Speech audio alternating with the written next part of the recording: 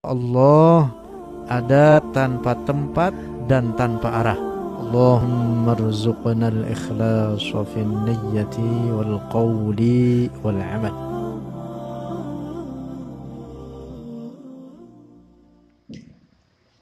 لله رب العالمين والصلاة والسلام على سيدنا محمد سيد الأولين والآخرين وعلى آله وصحبه الطيبين الطاهرين. اللهم لا سهل إلا ما جعلته سهلا. وأنت تجعل الحزن يا حي يا قيوم إذا شئت سهلا. اللهم ارزقنا الإخلاص في النية والقول والعمل.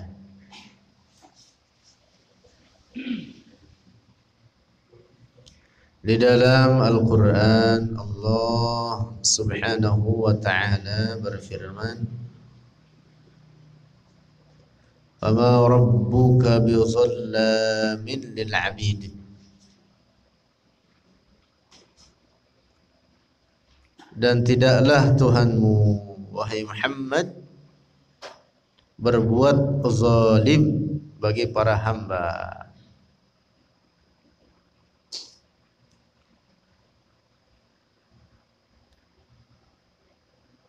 Dalam sebuah hadis Rasulullah sallallahu alaihi wasallam bersabda Inna Allah law 'azzaba ahla samawatihi wa ardihi la'adzabahum jami'an wa huwa ghairu zalimin lahum inna Allah sesungguhnya Allah law 'adzaba jika menyiksa ahla samawatihi seluruh penduduk langit yaitu para malaikat wa ardihi dan seluruh penduduk bumi.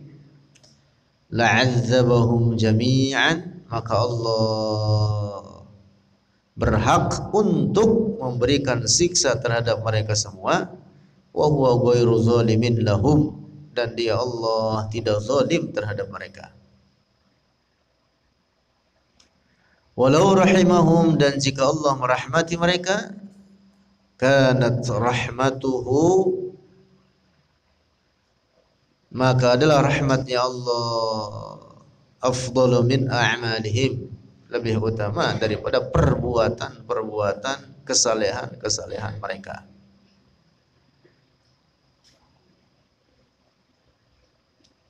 Di dalam ayat ini dan hadis ini juga beberapa hadis lainnya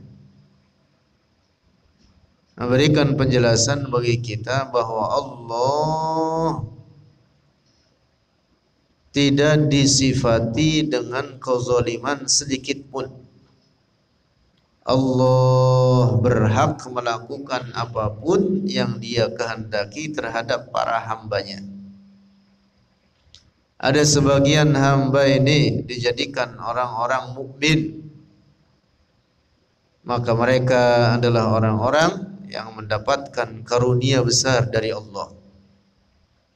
Sementara ada sebagian lainnya yang oleh Allah dijadikan orang-orang kafir maka itu terjadi dengan keadilan Allah.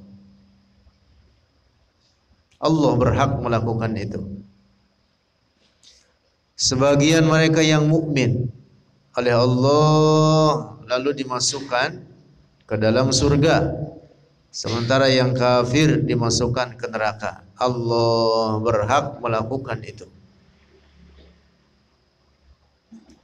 Manusianya punya Allah, surga dan nerakanya punya Allah.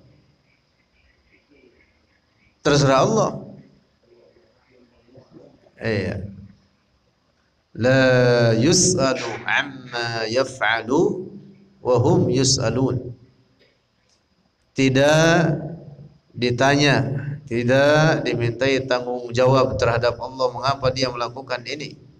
tetapi yang dimintai pertanggungjawaban itu siapa? Manusia. Allah tidak ada yang meminta tanggung jawab darinya. Tidak dikatakan bagi Allah mengapa Allah menjadikan sebagian hambanya kafir lalu juga Allah yang memasukkan mereka ke neraka. Mengapa Allah menjadikan manusia sebagian lainnya mukmin dan juga Allah yang memasukkan mereka ke surga? Tidak ditanya bagi Allah mengapa dia melakukan ini, melakukan itu.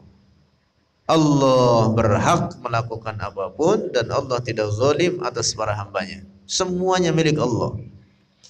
Maka bersyukurlah orang yang dijadikan orang-orang mukmin oleh Allah. Dia mendapatkan karunia besar darinya. Kullu ni'matin minhu fadlun. Wa kullu niqmatin minhu adlun. Kullu ni'matin setiap nikmat karuniakan oleh Allah bagi kita adalah karena karunianya pemberiannya nikmatnya diberikan bagi kita murni adalah fadlullah pemberian karunia besar dari Allah terhadap kita. Wa kullu niqmatin minhu adlun. Dan setiap siksaan azab dari Allah adalah keadilannya. Allah maha adil berhak melakukan itu.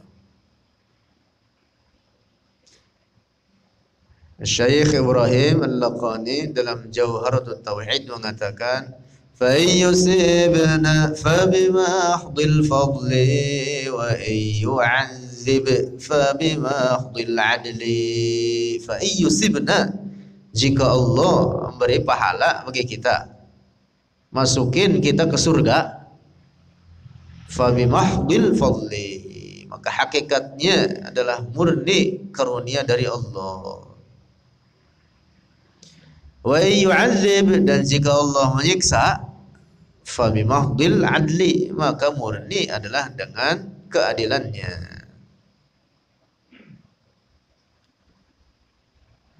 Orang masuk ke surga bukan semata-mata amal ibadahnya tapi murni. Karena apa?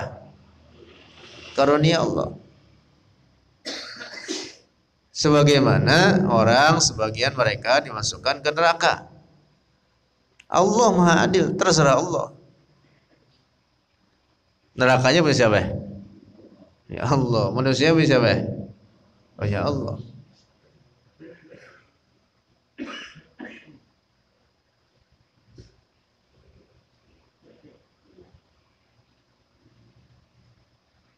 Kezaliman itu hanya tergambar pada sesuatu yang bukan milik.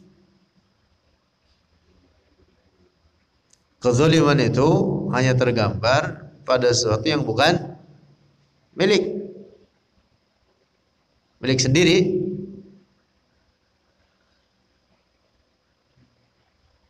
Kita mukulin orang lain. Zalim namanya. Kita ngambil hak orang lain, zalim namanya. Kita memperlakukan atau menempatkan sesuatu bukan pada tempatnya, zalim namanya. Mengapa? Karena kita bertasarruf bukan pada milik kita. Bertasarruf itu mempergunakan atau memperlakukan sesuatu bukan pada milik kita. Adapun Allah terhadap alam ini kepemilikannya adalah kepemilikan yang hakiki, milkun hakikiyun. Adapun kepemilikan kita terhadap sesuatu yang kita miliki itu disebutnya namanya milkun majaziyun. Milkun majazi. Kita punya anak, milik siapa nih anak? Milik kita. Kita punya harta, milik siapa nih? Milik kita. Itu namanya kepemilikan apa? Majazi. Adapun hakikatnya semua itu kita dan apa yang kita miliki adalah milik Allah.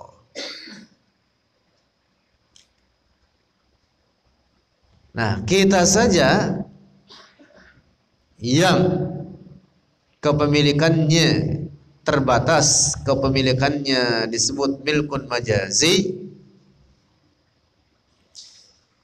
memiliki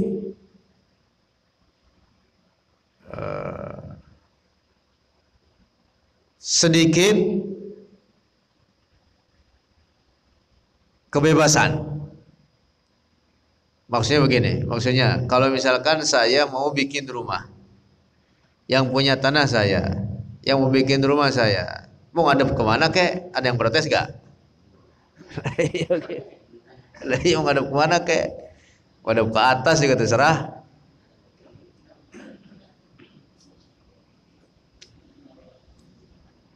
Saya punya PC, ini PC. Kira-kira kalau taruh di pantat, punya siapa itu dia? punya saya. Ada yang mau protes nggak?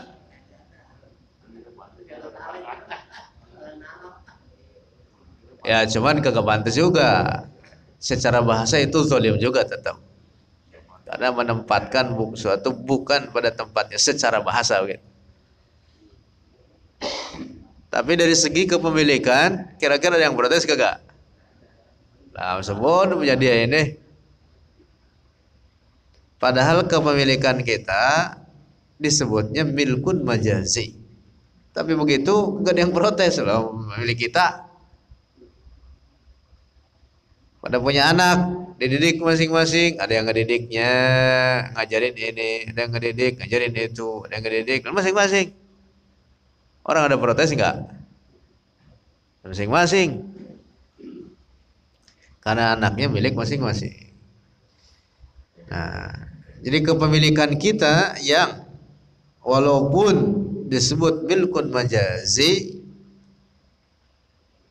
tetapi tidak ada yang protes terhadap kita apalagi Allah yang kepemilikannya adalah milkun hakiki segala sesuatu pada alam ini adalah milik Allah dan Allah berhak melakukan apa pun terhadap para hambanya ini Allah tidak zalim dengan apa yang dia lakukan dan Allah tidak memiliki kewajiban apa pun. Nah, dapat dipahami nih. Tidak memiliki kewajiban apa pun. Orang mukmin dimasukkan ke surga bukan wajib atas Allah. Tapi itu tadi karena karunia Allah. Seandainya orang mukmin soleh, bertakwa, dimasukkan ke neraka, bisa diterima tidak? Secara akal, bisa diterima. Nerakanya milik Allah, manusianya milik Allah. Tetapi Allah berjanji bahwa tempat orang mukmin di surga. Maka Allah tidak akan menyalahi janjinya. Hakikatnya orang mukmin dimasukkan ke surga itu bukan karena kewajiban atas Allah, tapi adalah murni karunia dari Allah.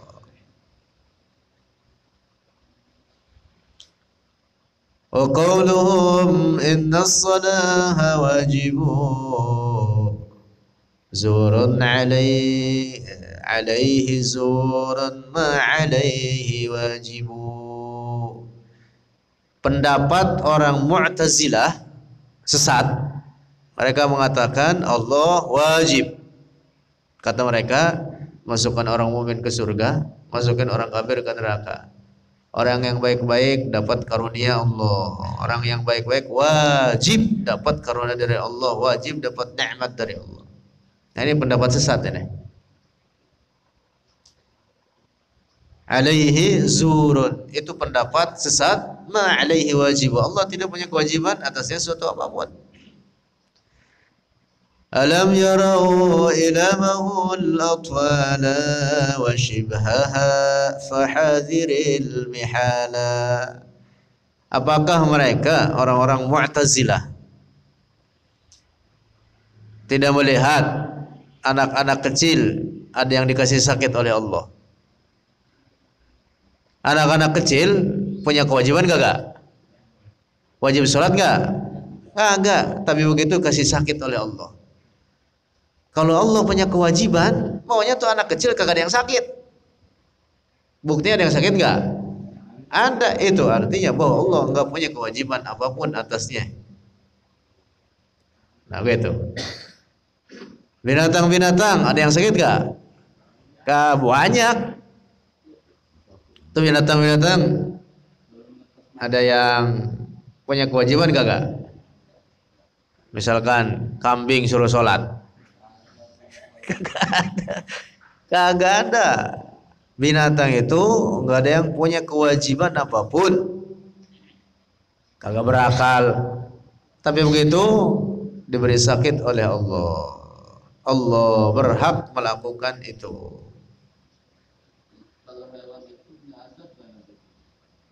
Enggak, hewan enggak kena siksa, hewan enggak enggak disiksa. Enggak.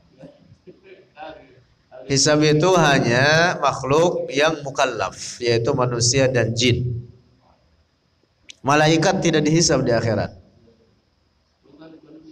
Para malaikat itu majbuluna bitta'ah. Mereka diciptakan oleh Allah dengan tabiat yang hanya melakukan kesalehan ketaatan. Tidak ada yang berbuat kejahatan sedikit pun. Karena itu di akhirat mereka tidak dikenakan hisab. Hisab itu hanya berlaku bagi yang berbuat ketaatan dan berbuat keburukan. Dalam hal ini bangsa manusia dan bangsa jin. Apalagi binatang kagak dihisab. Walaupun binatang nanti di akhirat juga akan dibangkitkan. Akan dibangkitkan juga nanti di akhirat begitu mati semua makhluk yang hidup termasuk binatang-binatang kemudian dengan tiupan yang kedua dibangkitkan dan seluruh yang bernyawa termasuk binatang-binatang. Sebutkan dalam Al-Quran wa idzal wuhushu akan digiring dibangkitkan mereka itu. Di padang mahsyar. Lalu binatang-binatang itu akan saling mengkisos. Jadi yang di dunia ini punya tanduk, lalu dia nyeruduk temannya yang kagak punya tanduk hingga melukainya. Nanti di hari kiamat yang di dunia enggak punya tanduk dikasih tanduk. Gantian nyeruduk temannya. Dalam hadis segitu hatta yuqada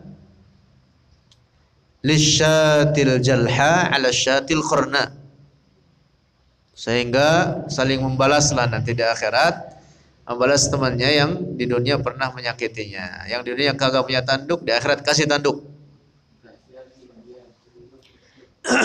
Nah setelah saling mengkisos saling membalas maka kemudian mereka menjadi tanah. Habis riwayat mereka sampai situ udah. Ayo. habis sudah sampai situ. Nah orang-orang kafir saat melihat binatang-binatang itu jadi tanah, mereka berangan-angan. Kalau saya seperti itu habis urusan saya. Akan lebih baik. Nah sekarang urusan kita mungkin panjang, mungkin susah. Tempatnya nanti bagaimana? Di situ saja ketika dibangkitkan padang mahsyar itu sudah sangat kesusahan mereka. Ya laitani kuntu turaba. Seandainya kami ini atau aku ini kata orang kafir menjadi tanah saja. Seperti apa? Ya? Itu binatang-binatang tadi. Dari saking susahnya waktu itu. Saking dahsyatnya di padang mahsyar diriwayatkan sampai orang-orang kafir itu berkata, "Ya Rabbu, arihna walau ilan nar kata mereka begitu. Ya Rabbu ya Allah arihna istirahatkan kami walaupun kami harus menetap di neraka. Jangan seperti ini. Itu padahal baru permulaan. Dia kata di neraka lebih mudah. Dia, dia kata di neraka lebih lebih enteng itu siksanya. Oh lebih parah. Itu baru permulaan dibangkitkan dalam keadaan kesusahan seperti itu sampai orang-orang kafir berkata ya Rabbu arihna walau ilan nar ya Allah istirahatkan kami Jangan kami perlakukan seperti ini walaupun kami harus ke neraka ya udah masukin dah. Bahasa kita ya begitu. Walaupun kami harus ke neraka udah masukin dah karena dia kata neraka ringanan kali. Masya Allah.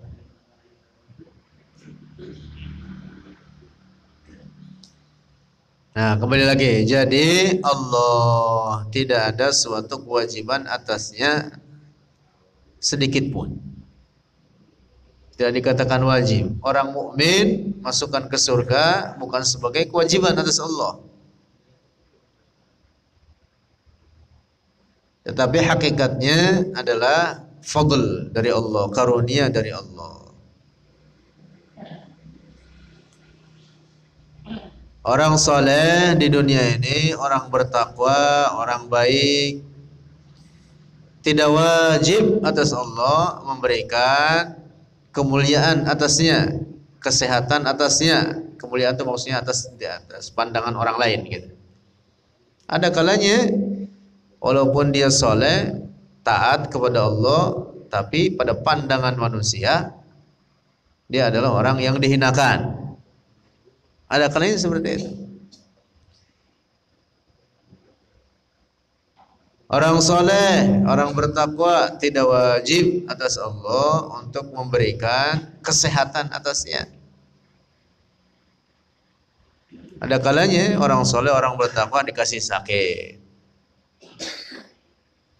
Jadi Allah tidak punya kewajiban suatu apa pun. Allah berhak melakukan apa pun terhadap para hambanya ini karena semuanya milik Allah. Sebagian dijadikan mukmin, sebagian dijadikan kafir. Dan yang dijadikan mukmin adalah orang yang mendapatkan karunia besar dari Allah. Kita dijadikan orang-orang mukmin. Alhamdulillah, ini karunia besar.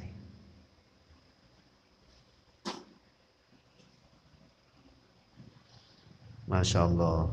Alhamdulillahilladzi hadana lihada wa ma kunna linahtadiya laula an hadana Allah. Allah yang berikan kita hidayah. Bacaannya satu hadis. Allah ada tanpa tempat dan tanpa arah. Allahumma rzuqna al-ikhlas fi niyyati wal qawli wal amal.